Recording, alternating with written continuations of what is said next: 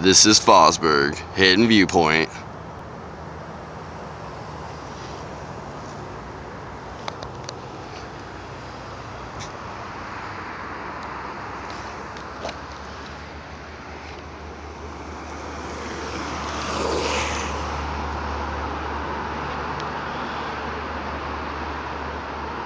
And there he goes.